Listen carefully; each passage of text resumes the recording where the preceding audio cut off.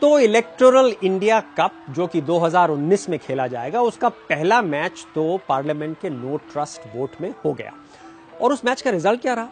मेरे हिसाब से वो एक ड्रॉ था। और उससे अब एक्साइटिंग पेनल्टी शूट आउट का माहौल अब शुरू हो जाएगा और वो माहौल चलेगा मई 2019 तक। देखिए, राहुल गांधी जो कि जो कि कमज़ोर टीम के मेन स्ट्राइकर थे उन्होंने फाइनली एक ऐसा टैकल अपने स्किल्स में ऐड कर लिया, अपनी गेम में ऐड कर लिया जो कि पहले मिसिंग था। देखिए बड़े बड़े अखबार जो थे, जो हमेशा प्रधानमंत्री मोदी को 90 प्रतिशत और ऑपोजिशन पार्टीज़ को 10 प्रतिशत की कवरेज देते थे अपने फ्रंट पेजेस पे। देखिए, किस तरह से उनको मजबूर होना पड़ा कि राहुल गांधी को उनको आधी जगह अपने फ्रंट पेज पे देनी पड़ी। जो ऑपोजिशन एमपीज थे और ऑपोजिशन लीडर्स थे, किस तरह से अंग्रेज़ी में कहा जाए, Rahul got under their skin किस तरह से वो थोड़ा घबराहट में बोले और ह्यूमरलेस थे उनको कोई, अगर वो चाहते तो थोड़ा हंस के रिएक्ट कर सकते थे, लेकिन वो सिंगुलरली एक ह्यूमरलेस उनका रिस्पॉन्स आया। संसद के अंदर ही उन्होंने चिपको आंदोलन प्रारंभ कर दिया।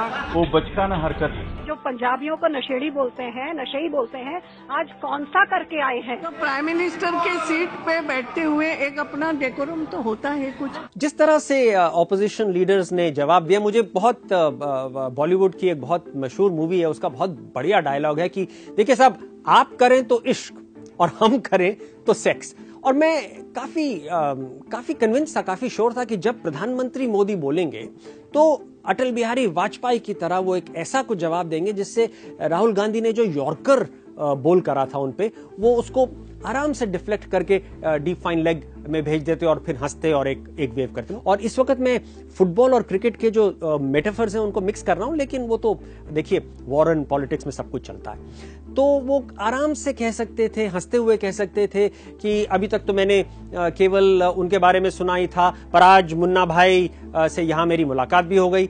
अरे भाई, आपकी जादू की जप्पी तो ठीक है, लेकिन जरा पढ़ लिख कर एमबीबीएस पहले पास तो कर ले आप। इस तरह का लाइट रिएक्शन एक डिफ्लेक्शन वो कर सकते थे, लेकिन उन्होंने नहीं करा। इसके एकदम ऑपोजिट प्रधानमंत्री मोदी ने उनपे एकदम बरस पड़े। जिनको यहाँ पहुँचने की उत्साह है उठो उठो उठो। कैसे आँख खोली जा रही है कैसे बंद की जा रही है? आप तो नामदार है नामदार। अपने परिवार के इतिहास के बाहर भी को तो कांग्रेस का इतिहास है। तो अब जो है इस नो ट्रस्ट वोट के बाद किस तरह से 2019 की जनरल इलेक्शन का माहौल समीकरण बन रहा है। काफ़ी देर से मैं कह रहा हूँ कि जब से वो कांग्रेस के अध्यक्ष बने हैं, राहुल गांधी ने अपने आप को ट्रांसफॉर्म करना शुरू कर लिया है और वो पॉलिटिकली काफ़ी प्रॉमिस भी दिखा रहे हैं। देखिए, उन्होंने गुजरात में कितनी एक एनर्जेटिक कैंपेन करी और वो एनर्जेटिक कैंपेन मोदी और शाह के गढ़ पे थी, उनके होम टर्फ पे थी। फिर देखिए उन्होंने किस तरह का भारी पॉलिटिकल रिस्क लिया जब उन्होंने चीफ जस्टिस ऑफ़ इंडिया का इम्पीचमेंट को स्पॉन्सर करा। उससे क्या हुआ कि सुप्रीम कोर्ट की हर एक्शन पे एक बहुत भारी पब्लिक स्क्रूटनी आ गई, जिससे एक ऐसा डेंजर हट गया कि कोई गलत काम वहाँ पे हो। फिर देखिए किस तरह से उन्होंने सीखा कि पॉलिटिक्स में जल्दी और अपॉर्चुनिस्टिक कॉम्प्रोमाइज करना ज़रूरी कई बार हो जाता है। जैसे कि उन्होंने कर्नाटका में करा और वो एक स्ट्रेटेजिक रिट्रीट थी। वो थोड़ा पीछे हट गए रिज़र्व बिल्डअप करने के लिए, क्योंकि असली लड़ाई तो 2019 का आम चुनाव है। अपनी टीम को उन्होंने हाल ही में रिवैम्प करा, उसमें काफ़ी बड़े बड़े दिग्गज को उन्होंने हटाया काफियों को रखा कंटिन्यूटी में रखा और कई तरह के यंग प्रॉमिसिंग टैलेंट को भी वो अपनी टीम में लेके आए। अब देखिए प्रधानमंत्री मोदी का एटीट्यूड क्या रहा पार्लियामेंट में? मुझे लगता है कि वो थोड़ा अपने एको चेम्बर में, अपने अपने जो, उनके जो भक्त कैटेगरी और भक्त जो लोग हैं, वो उस एको चेम्बर में वो थोड़ा काफ़ी अंदर और चले गए। उनके पास एक अपॉर्चुनिटी थी कि जो लिबरल उनके जो सपोर्टर थे, जो 2014 में उन जिन्होंने बहुत सपोर्ट करा था, जिनकी वजह से उनको पाँच प्रतिशत का की वोट का क्लियर फ़ायदा हुआ था, इजाफा हुआ था, क्योंकि बीजेपी का जो कोर बेस है वो तो 26 परसेंट का वोटर है लेकिन वो बढ़ के इकतीस परसेंट हो गया था 2014 में और वो जो पाँच परसेंट आया था वो वो मोदी जी के जो लिबरल सपोर्टर्स जो उनके साथ नए जुड़े थे वो वो थे और वो आजकल थोड़ा डिसअपॉइंटेड है मोदी जी से।